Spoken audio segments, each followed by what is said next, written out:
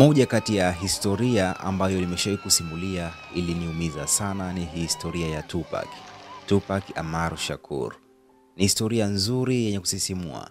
Malejendali wana historia nzuri sana ambazo wameweza kuziacha mpaka leo hii zimebaki kama legacy ama kumbukumbu, kumbu. lakini nitakuwa sina wingi wa fadhila nisipokusimulia na kukupa historia A to Z ya Michael Jackson alivyoweza kuuawa na Illuminati, lakini kumbe usichokifahamu ilipangwa aweze kuuawa muda mrefu tu. Kuna siri kubwa sana nyuma yake ambayo inawezekana ulikuwa hauifahamu. Mimi naitwa Jimmy Godfrey.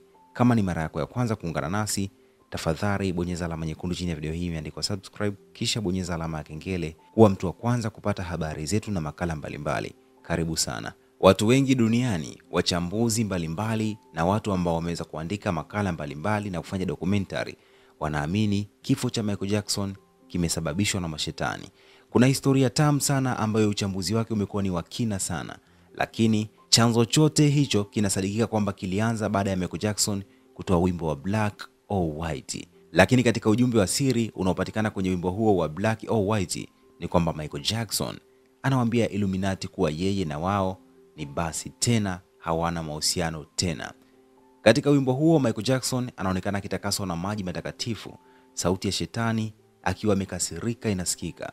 Michael Jackson anazaliwa mara tatu kama alama ya kuzaliwa upya. Sasa kama umebahatika kuitizama nyimbo ya Black and White, utakuwa umepata picha nzuri sana katika kile ambacho nitaenda kusimulia. Na hatimaye baada ya kuonyesha ishara ya kuzaliwa upya na Michael Jackson kuwa mtu mpya na kuachana na mambo ya kale, baadaye anajipongeza mwenyewe katika hilo ambalo ameweza kulifanya. Anapiga magoti mbele ya Mungu na muumba wake kwa kuwa huru kutoka katika mikono ya Illuminati ama mikono ya shetani. Kisha anachukua maji matakatifu na kuyamwagia kwenye alama ya Royal Arms, na Royal ikiwa ina maana Royal Bloodline ambazo nazo zipo 13 na mwishowe Michael Jackson anabadilika na kuwa Panther.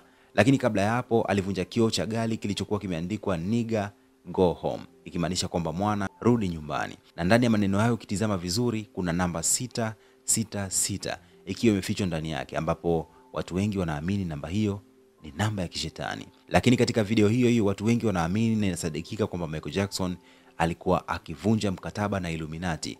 Pia akaendelea kwa kuvunja bango lililokuwa limeandikwa KKK, ambapo K inawakilisha herufi 11 kwenye alfabeti, na hivyo KK zikiwa tatu inamaanisha ni 33, ina maana K mara tatu. Lakini pia KKK inasimama badala ya jina la Ku Klux Klan ambalo ni jina la kikundi cha Illuminati kilichoundwa na jamaa mmoja alikuwa anafahamika kama Albert Pike, ambapo alikuwa ni mwanamasonia wa daraja la 33.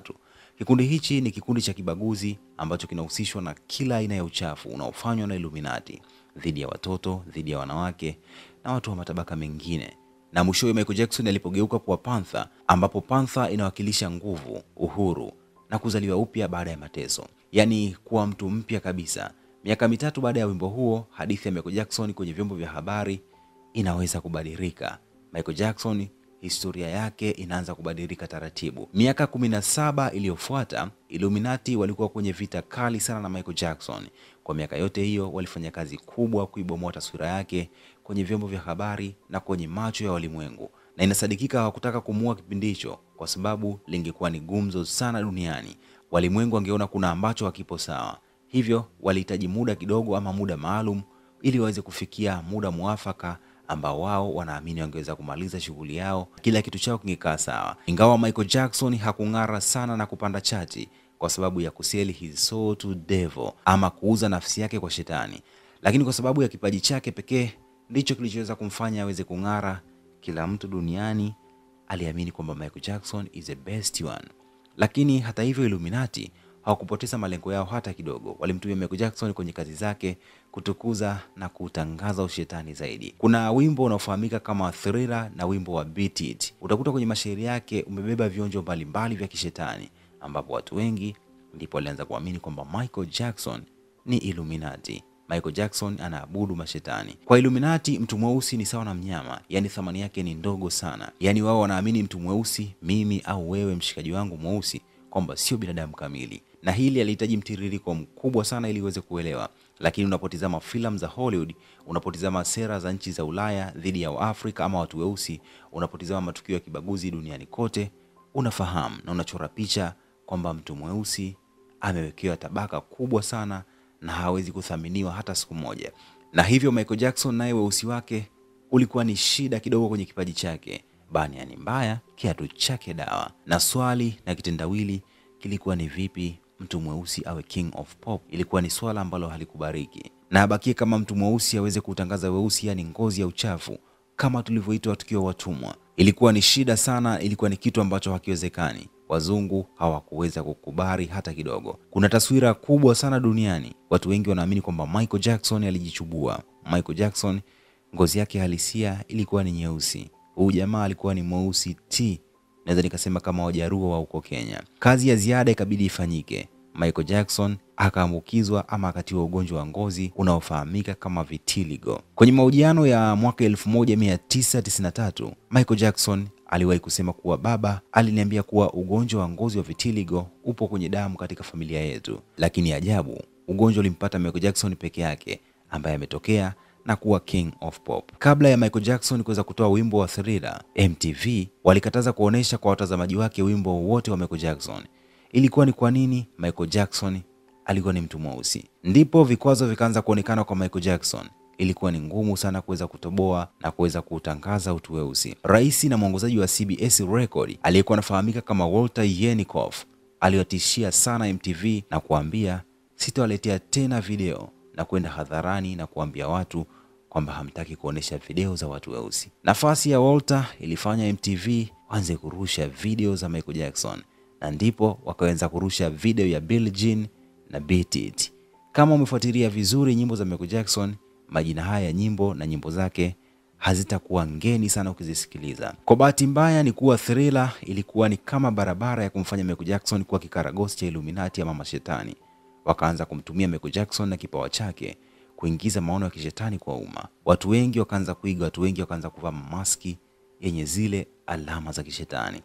Safari hiyo ilikuwa ni muhimu sana kufanyika kabla hawajamfanya Michael Jackson kuwa white man, yaani kabla hawajampatia ugonjwa wa vitiligo uliombadilisha ngozi yake. Na dada yake Michael Jackson alikuwa anafahamika kama Latoya Jackson aliweza kuzungumza kuhusiana na kifo cha kaka yake. Alisema, I believe Michael was murdered. I felt that from the start. Not just one person involved, rather it was a conspiracy of people. He was surrounded by a bad cycle. Michael was a very meek, quiet, loving person. People took advantage of that. People fought to be close to him. People who weren't always on his side. Aliweza kuzungumza mambo mengi sana, ambapo Kiswahili chake aliweza kusema kwamba naamini Michael aliuawa. Nilihisi hilo tokea mwanzo. Sio mtu mmoja tu alihusika, ni kikundi cha watu. Alizungukwa na kundi baya. Michael alikuwa mkimya, alikuwa mpole, ni mwenye upendo sana. Kwa hiyo alitumia nafasi hiyo vibaya kwake. Watu walipigana sana kuwa karibu naye, sio kila mara watu walikuwa upande wake. Alikuwa na majeraha ya sindano kwenye shingo na kwenye mkono. Japo siwezi kuzungumzia hilo kwa kina, nitaharibu upelelezi, lakini siwezi kamwe kubadili msimamo wangu na ninachoamini kwamba Michael Jackson walimuua. Sitapumzika hadi nihakikishe nani alihusika, kwa nini wameitenga familia. Sina shida ya pesa, nataka haki itendeke kwa Michael. Michael Jackson alifahamu kuwa Illuminati unataka kumuua. Mwili wake ulipatikana majeraha kadhaa ikiwemo shingoni na magotini, lakini pia inaonyesha kuwa alidondoka sakafuni kabla ya kifo chake. Yaani alikuwa akipambana dhidi ya muuaji kuokoa uhai wake. Layota alipoulizwa ni nani aliyemuua Michael Jackson, alijibu dokta unayemuona anayetajwa kama ndiye msababishi wa kifo cha kakaangu ni kinga tu. Wapo watu nyuma yake waliotaka Michael Jackson afe. Na wakati wa shtaka la mara ya pili la Michael Jackson lililomalizika Juni 13 ya mwaka 2005, wazazi wa Michael Jackson walimwita aliyekuwa rafiki yake, alikuwa anafahamika Dickie Gregory, ambaye alikuwa ni rafiki mzuri sana wa Michael Jackson. Walimwomba amtembelee Michael Jackson, maana hayupo vizuri hata kidogo. Baada ya siku chache, Gregor alirudi na Michael Jackson kwenye jumba lake la kifahari huko Neverland. Michael alimkumbatia na kumwambia, tafadhali usiniache, wanataka kuniua. Gregor akamuuliza Michael, lini ilikuwa mara yake ya mwisho kula, maana inaonekana ameweza kudhoofu sana. Michael akamjibu, anataka kuniua kwa sumu. Akamuuliza, ni lini mara yako ya mwisho umekunywa maji? Michael akamjibu pia, wanataka kuniwa Gregory akamchukua Michael Jackson na kwenda naye kwenye hospitali ya karibu, lakini mbali kidogo na Neverland bila kumwarifu mtu yoyote yule kwamba anaenda hospitali. Baada ya kufika hospitalini, Michael Jackson akatundikiwa drip kutoka saa kumi na moja na nusu jioni mpaka saa kumi na moja asubuhi, na siku iliyofuata kwa masaa ishirini na nne aliweza kushinda kwenye drip bila kupumzika. Dokta aliyekuwa anamhudumia akasema angalau umefika mapema, usingefika kwa wakati, basi masaa mengine kumi na mbili angekuwa ameshafariki Michael Jackson. Na hapo utaona ilikuwa ni Juni mwaka elfu mbili na tano Illuminati walikuwa wakifanya jaribio la kumuua tena Michael Jackson lakini ikashindikana. Ilipofika Juni elfu mbili na tisa walifanikiwa kutekeleza azma yao baada ya kumtumia mtu ambaye Michael alimwamini zaidi na ambaye alikuwa akimtibia mara kwa mara. Aliyekuwa daktari wake aliyekuwa anafahamika kama Conrad Mura na ndiye aliyeweza kumzuru Michael Jackson. Michael Jackson alikuwa na nguvu za kutosha. Dokumentari kadhaa zimetolewa zikimwonyesha wiki kabla ya kifo chake, alionekana yuko safi sana alionekana na nguvu za kutosha na akafanya maandalizi ya tua yake ya London aliyoipa jina la This Is It, ambapo tetesi ni kuwa kwenye tua hiyo aliweza kuiandaa Michael Jackson. Kati ya mengi aliyokuwa nayo ni kufumbua macho ulimwengu kuhusiana na madhara na ubaya wa Illuminati, lakini hawa jamaa nao walishaona ni hatari kubwa kwao, hivyo hawakuwa na muda wa kupoteza. Ndipo daktari ambaye pia ni Illuminati alipochukua jukumu hilo zito la kumwangusha King of Pop Michael Jackson, na ndipo ikaweza kuwa mwisho wa Michael Jackson. Kuna nadharia mbalimbali mbali ambazo watu wengi wanazungumzia kuhusiana na kifo cha Michael Jackson, na hiyo ni nadharia kuhusiana na Illuminati ama mashetani, jinsi walivyoweza kumwangusha Michael Michael Jackson, King of Pop. Shukrani sana.